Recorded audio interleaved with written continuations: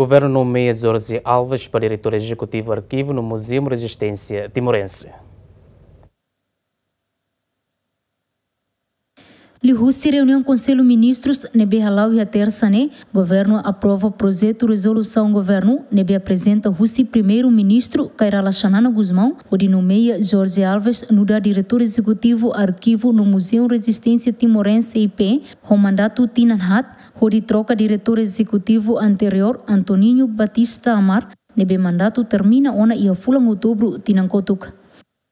Itu hanya Atene è mandato direttore esecutivo va Museo Resistenza Timorense yang terminationa, Sjor Hammer, terminaron ini mandato I Consiglio Ministro avrebbe mandato terminana eh, halo apresiasi, no onsa buka eh, uh, nebeke bele atau continua mandato dene uh, eh, fong ba lidera uh, anesen direttore esecutivo ba archivo no Museu Resistência Timorense Niniang.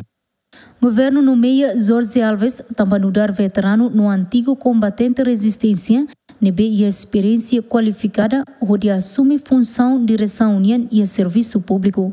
Além de governo mostra a apreciação para serviço nebe amar, halaona durante tempo barak e arquivo no Museu Resistência Timorense IP. Santina de Jesus, Marito da Costa, GMN.